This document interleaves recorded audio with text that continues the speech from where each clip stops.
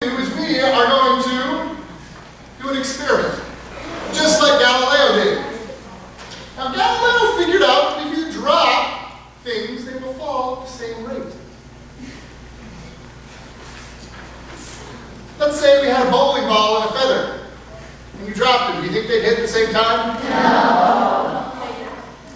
Well, I don't want to break your floor, and I don't have any feathers. So let's try a basketball and a piece of paper.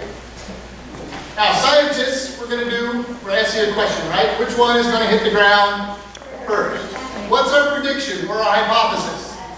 The basketball. Any, any ideas of why? It's heavier. Okay, so we are predicting that the basketball will hit the ground first because it's heavier.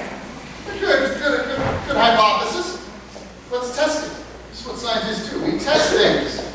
So I'm going to drop these at the same time. We're going to count to three, and drop them, and I want you guys to watch and see which one hits the ground first. Okay. Well, just who's, who thinks the basketball is going to hit first? Who thinks the paper is going to hit first? Oh, I One, two, three.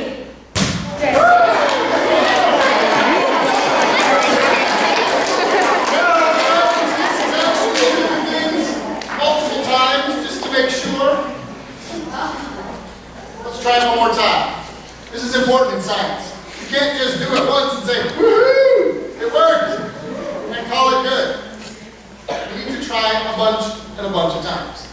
The light bulb, thousands and thousands and thousands and thousands of trials before Edison got the light bulb right. Here we go. One, two, three. Okay. Case closed, right? Wait a second.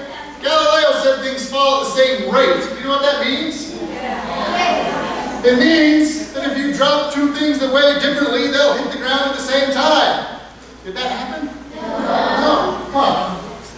I'm confused. Sometimes what we see and what science tells us don't seem to make sense. So, we need to change our experiment a little bit. Let's fold our paper up. Paper up. Try here. Now, when I fold the paper up, does it get heavier? Yeah. If you bend your finger when you're on a scale, do you get heavier? No. If you bend your arm, do you get heavier? No. If I bend the paper, does it get heavier?